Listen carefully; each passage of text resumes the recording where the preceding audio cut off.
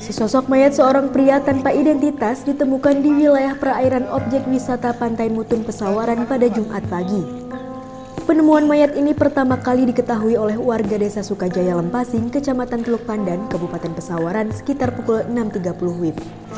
Tim Sarpol Airut Polda Lampung dengan di-backup oleh pangkalan kapal Puri Gading RIB 02 dan RIB 03 lalu berangkat ke lokasi tersebut.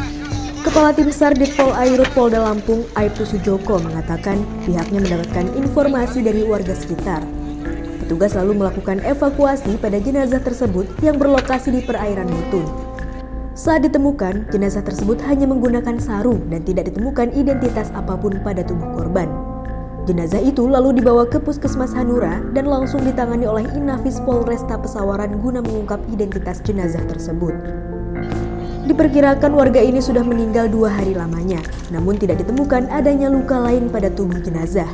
Setelah diperiksa, akhirnya diketahui bahwa korban merupakan warga kelurahan Kota Karang, Kecamatan Teluk Betung Timur berinisial AJ, 42 tahun.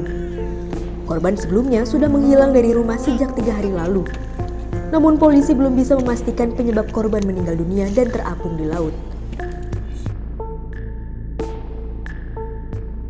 Dari Bandar Lampung, Wulandari, Kupas TV melaporkan.